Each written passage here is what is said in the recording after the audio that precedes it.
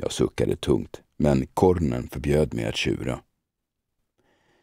Visst längtar jag hit, i synnerhet så här på sommaren. Kornen nästan skrek för att överrösta orkestern. Och trots att det var hårt arbete och slagsmål hela barndomen så var det alltid varmt. På vinden i Boden fanns gamla nummer av tidningen Seura och delar av Javan och på morgonen kom mormor och väckte och mjölkmaskinen tjöt och mamma skramlade med kannorna.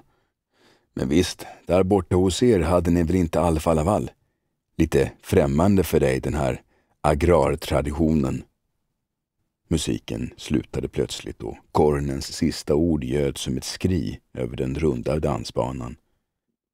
Mamma var chefsbokhållare i kolchosen. Jag är inte helt borta i fråga om boskapshållning, rättade jag. Låt vara vilken inseminatör eller annan svanshållare som helst. Kornen brydde sig inte om mitt muttrande och fortsatte sitt eget spår.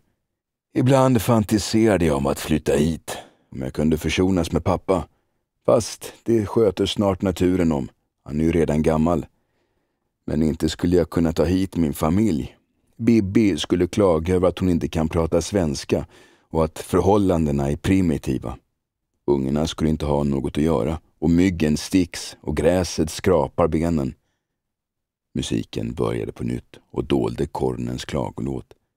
Jag urskilde ord här och där.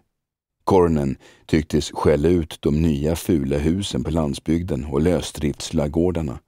Emellanåt såg han åt mitt håll och gjorde jämförelser med den sovjetiska produktionsarkitekturen. I samma svep ondgjorde han sig över stora traktorer som plattade till åkrarna så att de blev stenhårda, liksom den snikna skogshushållningen. För att inte tala om de som samlade på flygekorbajs. De var då verkligen motbjudande.